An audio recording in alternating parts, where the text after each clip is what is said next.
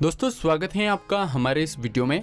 दोस्तों, इस वीडियो में हम जानने वाले हैं कि गर्भावस्था के दौरान जुड़वा बच्चों के क्या संकेत मिलते हैं, क्या लक्षण दिखाई देते हैं। दोस्तों, गर्भवती महिला के एक ही गर्भावस्था के दौरान पैदा होने वाले दो बच्चों को जुड़वा कहते हैं। अक्सर जुड़वा बच्चों में रंग रूप काफ़ी समान होते हैं। कई बार जुड़वा बच्चे अलग अलग प्रकृति के होते हैं, क्योंकि वे दो अलग अलग अंडों में भिन्न भिन्न शुक्राणुओं द्वारा निषेचित होते हैं। जुड़वा गर्भधारण सामान्य गर्भधारण से काफ़ी अलग होता है।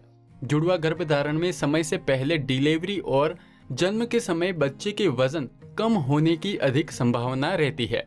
तो चलिए इस वीडियो में हम जान लेते हैं कि जुड़वा बच्चों के गर्भावस्था के दौरान क्या संकेत दिखाई देते हैं।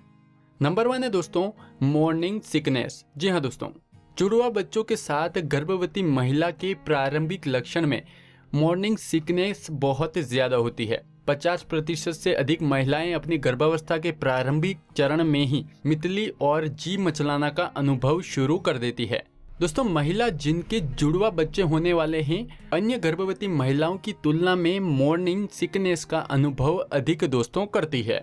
नेक्स्ट है दोस्तों ब्लीडिंग और स्पोर्टिंग जी हाँ दोस्तों, एक महिला जो जुड़वा बच्चों के साथ गर्भवती है, उसको स्पोर्टिंग और ब्लीडिंग होने की संभावना दोस्तों अधिक रहती है। थर्ड है दोस्तों, वज़न में अंतर होता है दोस्तों।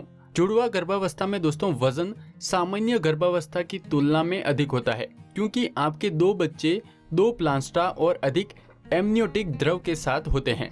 एक औसत गर्भावस्था में सामान्य वज़न दोस्तों 25 पाउंड होता है, जबकि जुड़वा गर्भावस्था में ये 30 से 35 पाउंड तक हो जाता है दोस्तों। नेक्स्ट है दोस्तों जल्दी डिलीवरी और सीजेरियन डिलीवरी हो सकती है। जुड़वा गर्भावस्था के साथ महिलाओं में समय से पहले डिलीवरी होने की भी संभावना दोस्तों रहती है।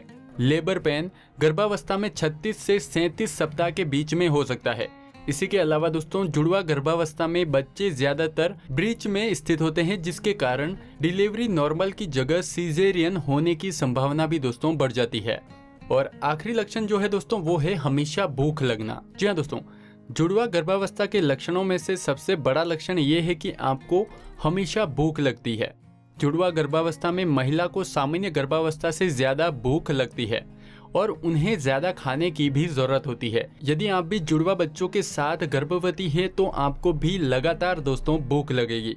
तो दोस्तों, ये थे कि गर्भावस्था के दौरान जुड़वा बच्चे होने के क्या संकेत दिखाई देते हैं। अगर आपको ये जानकारी पसंद आई हो तो हमारा चैनल आप ज़रूर सब्सक्राइब करें। धन्यवाद दोस्तों।